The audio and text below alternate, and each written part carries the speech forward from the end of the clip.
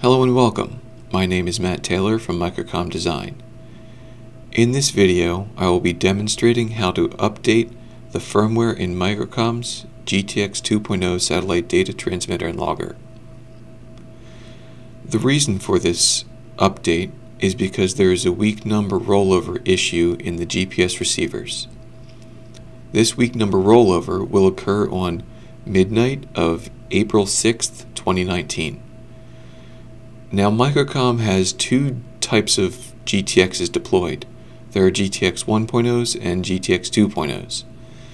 In the GTX 1.0, if the firmware is not updated before April 6, 2019, the GTX 1.0 will stop collecting data and stop transmitting. Whereas the GTX 2.0 will continue to function as long as power is not removed. So now I can begin demonstrating how to update the GTX 2.0.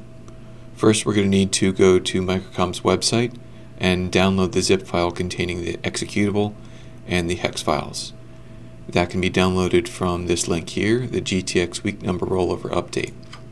If we click that link, a pop-up will ask you where you want to uh, save the zip file and you can choose any um, available location.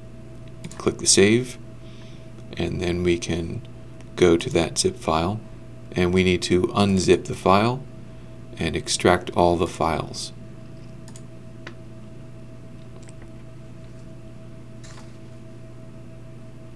Now that all the files have been extracted, you can execute the Microcom GTX upgrade utility. Now that we've got it running, uh, we can see that it's the latest version, 2.18a GPS week number rollover, down in the lower right hand corner. Next, we're going to need to select the COM port, and on this PC, I've got a uh, USB dongle set up on COM31. So under the Preferences menu, COM port submenu, I need to select the More submenu and type in 31 for my COM port. And down in the lower left hand corner we can see that COM31 has been successfully opened because it says COM31. Next we can check the Enable GPS WNRO Auto File Select with Program checkbox and select the current version. Now I can see that my GPS is my GTX is communicating because the firmware version 2.28 and 4.6 and the serial number 2848 has been populated. Now this confirmation pop-up dialog box asking if we want to program the GTX, uh, we can select yes and it'll begin programming. Now the programming process uh, starts with the link being established the bootloader being initialized, the bootloader synchronization, the firmware erasing, and now we're programming the firmware. Once that's completed for the main processor, the program will complete and the GTX will restart. The same process will need to occur for the TKM as well. It's recommended at this time to uh, document the main and TKM firmware versions and also the serial number. The In my case, the main started with version 2.28 and the TKM is version 4.6 and my GTX's serial number is 2848.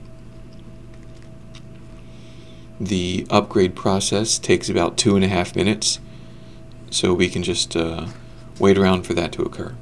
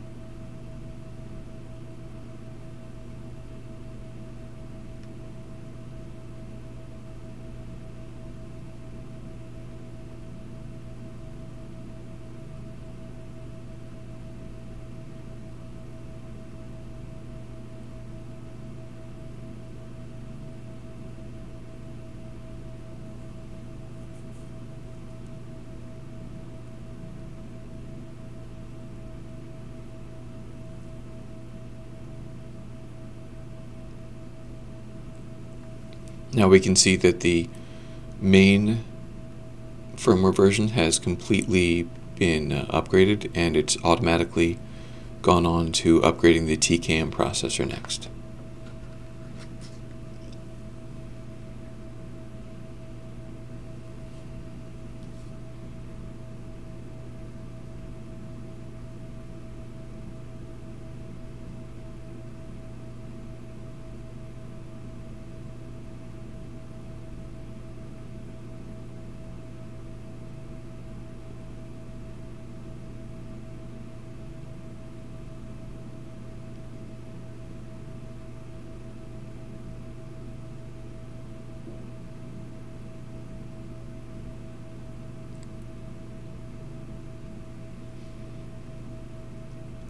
Now we can see that the firmware versions have been updated to version 2.30 for the main and 5.0 for the TCAM.